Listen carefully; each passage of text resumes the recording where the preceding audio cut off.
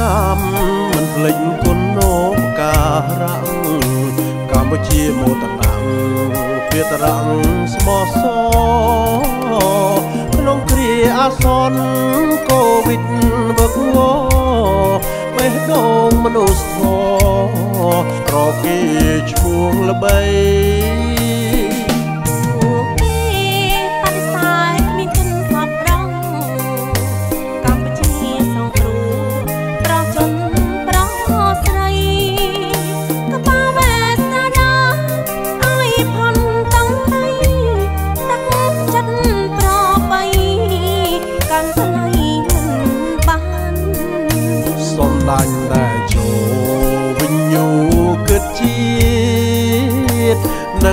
តរជាតិពិតជាក្លាហា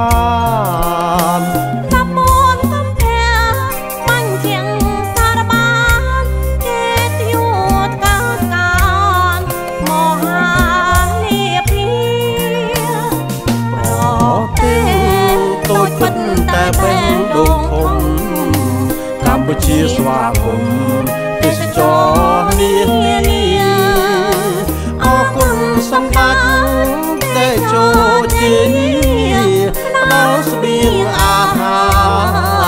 និងភាពកក់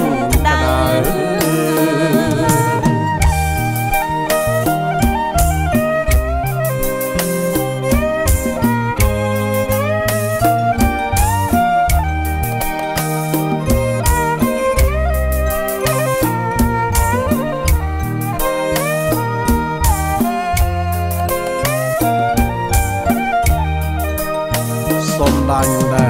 ចូល ជាតិពិតជាក្លាហានណាមនកំភាបាញ់ជាងសារបានគេទួតកាកានមហាលៀពីប្រទេសតូចប៉ុន្តែបេះដូងធំកម្ពុជាស្វាគមន៍ទេសចរនានា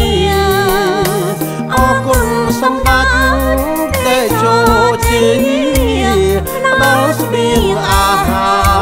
រនិងភាពកក់